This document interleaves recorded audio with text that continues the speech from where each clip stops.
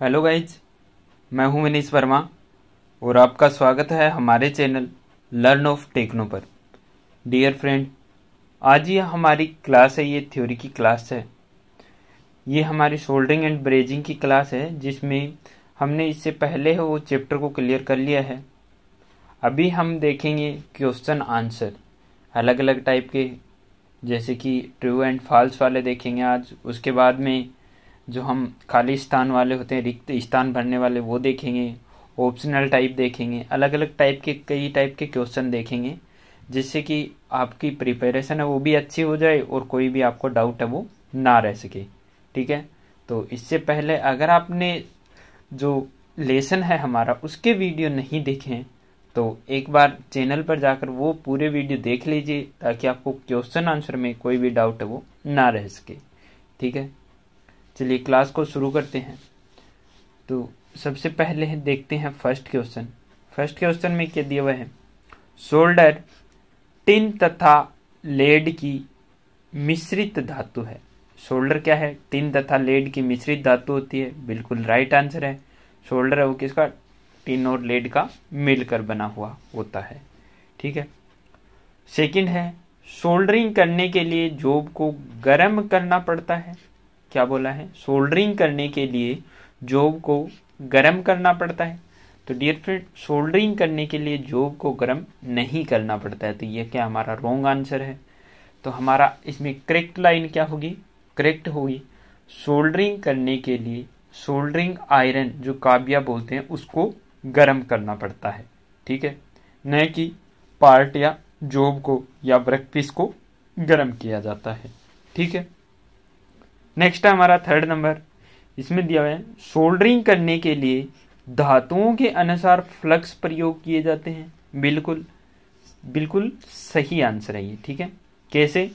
कि सोल्डरिंग करने के लिए धातुओं के अनुसार ही फ्लक्स का चुनाव करना होता है।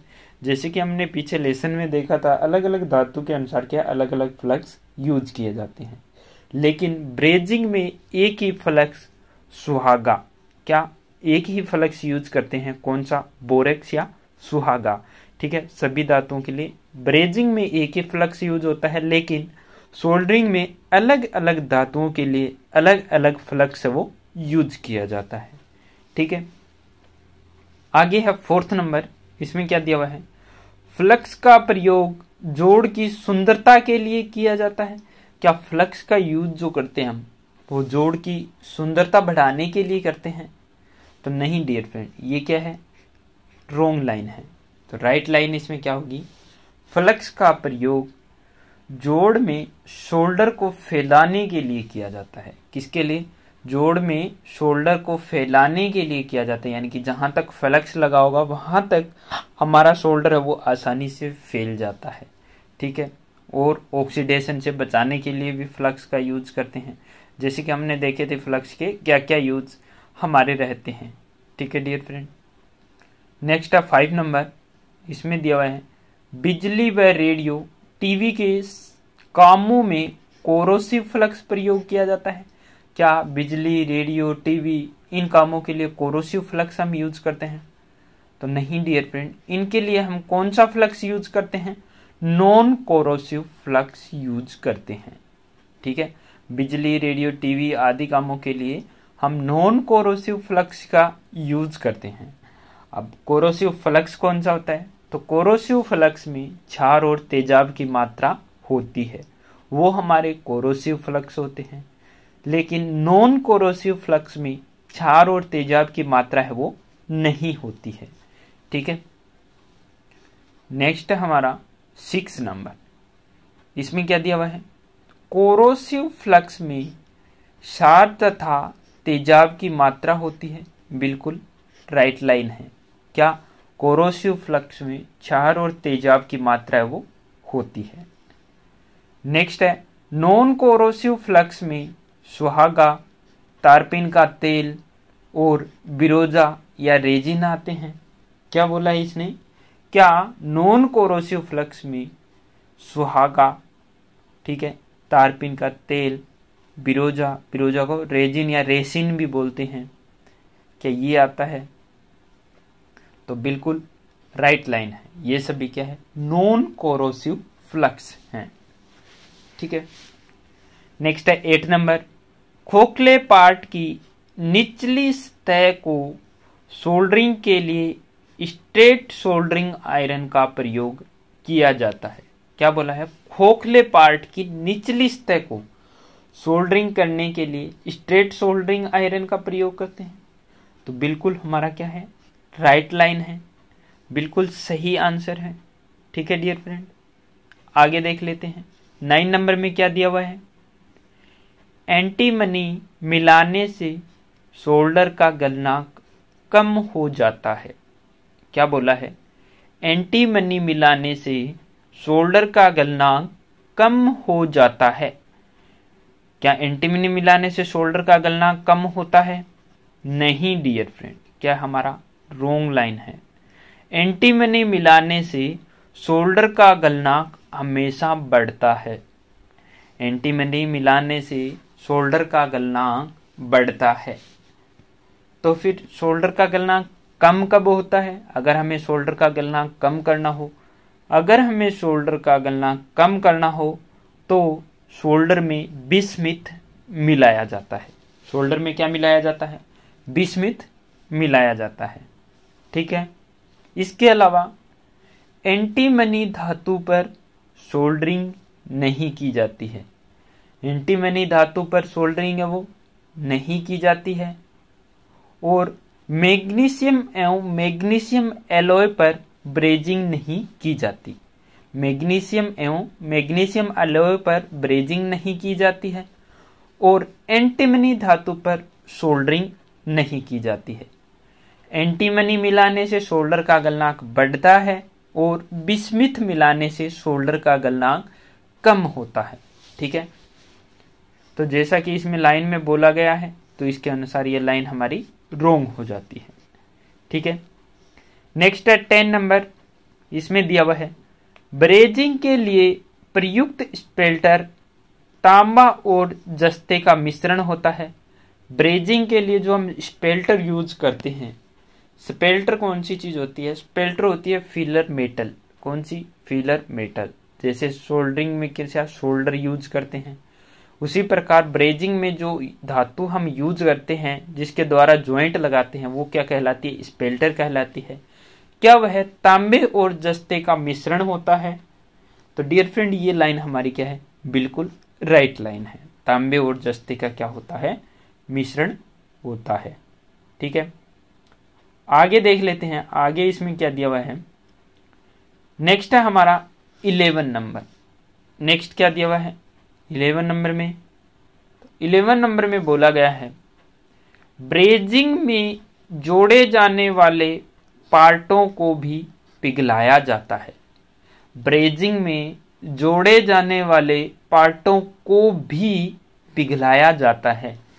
तो इलेवन नंबर लाइन है, वो हमारी हो जाती है रोंग। क्या हो जाती है? रोंग। कैसे? कि ब्रेजिंग में जोड़े जाने वाले पार्टों को नहीं पिघलाया जाता है, स्पेल्टर को पिघलाया जाता है। ब्रेजिंग में फिलर मेटल जो होती है यानी कि स्पेल्टर बोलते हैं उसको उसको पिघलाया जाता है। किसको? स्पेल्टर को पिघलाया जाता है। ठीक है डियर फ्रेंड लेकिन यहाँ पर राइट लाइन क्या होगी कि ब्रेजिंग में जोड़े जाने वाले पार्टों को नहीं पिघलाया जाता है। दूसरी हो सकती है यहाँ पर वेल्डिंग में जोड़े जाने वाले पार्टों के किनारों को भी पिघलाया जाता है। क्या? वेल्डिंग में जोड़े जाने वाले पार्टों के किनारों को भी पिघलाया जाता है। ठीक है? नेक्स्ट है हमारा ट्वेल्व नंबर। इसमें क्या दिया हुआ है? ब्रेजिंग जोड़ जल्दी लगाने का तरीका है। ब्रेजिंग जोड़ जल्दी लगाने का तरीका है।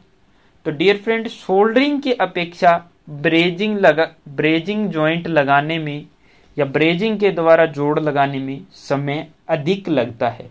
ठीक है? तो जैसे कि हमारा soldering and brazing chapter chapter चल रहा है तो इसमें, इसके अनुसार क्या ये रोंग आंसर होता है हमारा, ठीक है?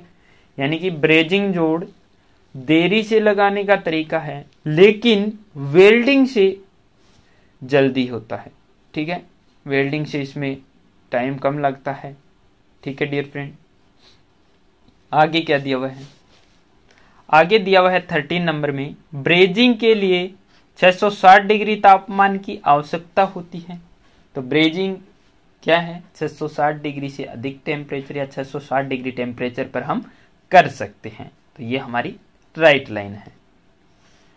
नेक्स्ट है फोर्टीन नंबर इसमें क्या दिया हुआ है? तांबा, जिंक और चांदी की मिश्र धातु को सिल्वर सोल्डर कहते हैं। क्या? सिल्वर सोल्डर कहते हैं। किस किस को? हमारा तांबा, जिंक और चांदी। तो इसके मिश्रण को क्या कहते हैं? क्या हम सिल्वर सोल्डर कहते हैं?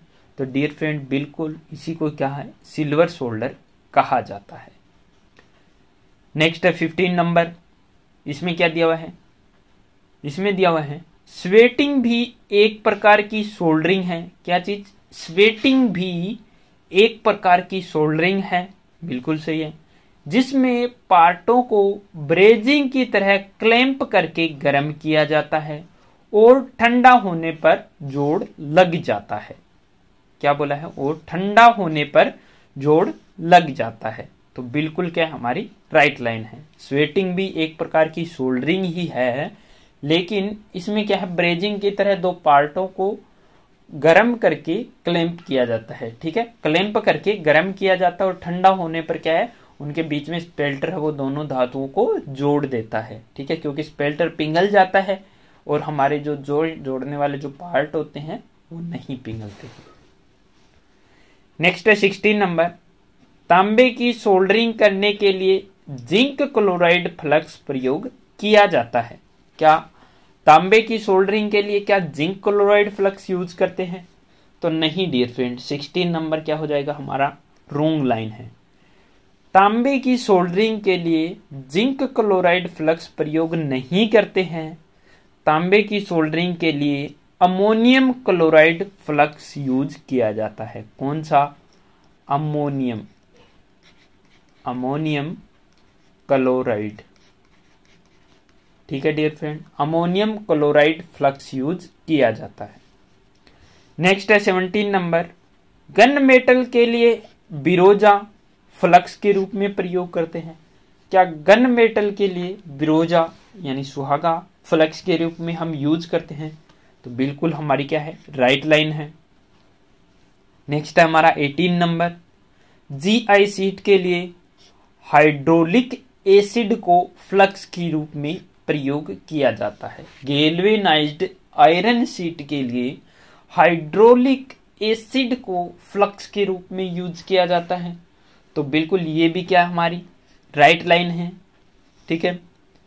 नेक्स्ट है नाइनटीन नंबर ब्रेजिंग के लिए सुहागा ही फ्लक्स के रूप में प्रयोग किया जाता है। तो ब्रेजिंग में एक ही फ्लक्स यूज़ करते हैं हम।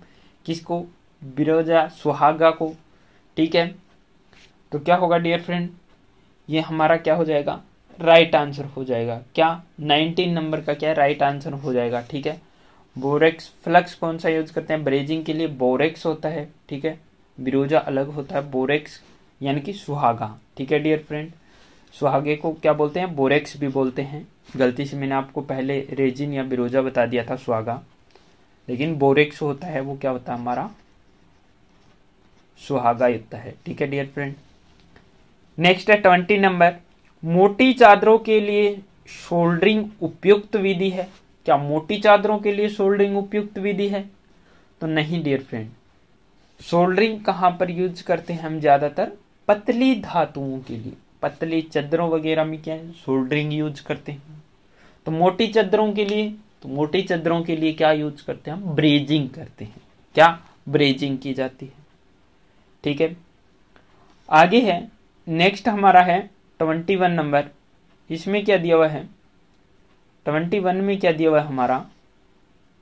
इसमें दिया हुआ है, ब्रेजिंग पतली चद्रों के जोड़ के लिए प्रयोग की जाती है। तो जस्ट मैंने अभी बताया था आपको, ब्रेजिंग किसके लिए यूज़ करते हैं? मोटी चद्रों के लिए। तो ये भी क्या हमारा रोंग लाइन हो जाती है। ब्रेजिंग है वो मोटी चद्रों के लिए और सोल्डिंग है वो पतली चद्रों के लिए उपयुक्त विधि है जोड़ लगाने की। ठीक है, डियर फ्रेंड? नेक्स्ट है हमारा ट्वेंटी टू नंबर पित्तल की शोल्डरिंग के लिए फ्लक्स वो अमोनियम क्लोराइड होता है। तो पित्तल की सोल्डरिंग के लिए, जैसे कि हमने पहले देखा था अमोनियम क्लोराइड फ्लक्स किसके लिए यूज़ करते हैं? कॉपर तांबा के लिए। तो पित्तल के लिए कौन सा फ्लक्स यूज़ करेंगे? तो पित्तल की सोल्डरिंग के लिए जिंक क्लोराइड फ्लक्स यूज़ करते हैं। सॉरी जिंक क्लोराइड ठीक है डियर फ्रेंड जिंक क्लोराइड किसके लिए? पीतल के लिए और कॉपर या तांबा के लिए। तो अमोनियम क्लोराइड फ्लक्स हम यूज़ करते हैं। नेक्स्ट है twenty three number. Iron sheet की सोल्डरिंग के लिए फ्लक्स अमोनियम क्लोराइड होता है। आयरन सीट की सोल्डरिंग के लिए फ्लक्स है, वो कौन सा यूज़ करते हैं? अमोनियम क्लोराइड यूज़ करते हैं। तो डियर फ्रेंड, बिल्कुल सही लाइन है। आयरन सीट के लिए अमोनियम क्लोराइड फ्लक्स यूज़ किया जाता है। Next twenty four number. Antimony को छोड़कर बाकी सभी धातुओं पर सोल्डरिंग की जाती है। तो जैसे कि मैंने आपको पहले ही क्लियर किया था, एंटीमनी को छोड़कर बाकी सभी धातुओं पर सोल्डरिंग की जाती है, ठीक है? लेकिन एंटीमनी का यूज़ सोल्डरिंग में एंटीमनी सोल्डर के साथ मिलाने से धातु का गलनांक है वो सोल्ड सॉरी सोल्डर का गलनांक बढ़ाने के लिए एंटीमनी धातु मिलाते हैं और सोल्डर का गलनांक कम करने के लिए बिस्मित धातु मिलाई जाती है। ठीक है डियर फ्रेंड नेक्स्ट हमारा ट्वेंटी फाइव नंबर इसमें दिया हुआ है ब्रेजिंग मैग्नीशियम और उसके एलोय मेटल पर नहीं होती। ब्रेजिंग मैग्नीशियम और मैग्नीशियम एलोय मेटल पर नहीं होती है। तो ये भी क्या है? बिल्कुल राइट लाइन है हमारी। ठीक है डियर फ्रेंड आज की वीडियो का नेक्स्ट और लास्ट क्वेश्चन देख लेते हैं। ये रिक्त स्थान वाला है। शोल्डर खालिस्तान और खालिस्तान की मिश्रित धातु है। शोल्डर किस किस की मिश्रित धातु है? तो शोल्डर है वो लेड और टिन की मिश्रित धातु होती है। लेड और टिन की मिश्रित धातु है, वो शोल्डर होती है। ठीक है डियर फ्रेंड आज की वीडियो में बस इतना ही। अगर आपको वीडियो अच्छा लगता है तो ज़्यादा से ज़्यादा आप इसे शेयर कर दीजिएगा। और याद रखिए, हर शाम छः बजे एक नया क्वेश्चन और हर शाम आठ बजे एक नया वीडियो टेक्निकल से रिलेटेड आपको हमारे चैनल पर डेली मिल जाता है। तो आप हर शाम छः बजे और हर शाम आठ बजे हमारे चैनल पर विज़िट कर सकते हैं, ठीक है? इसके अलावा, अगर आपने चैनल को अभी तक सब्सक्राइब नहीं किया है तो सब्सक्राइब कर लीजिएगा। Wish you all the best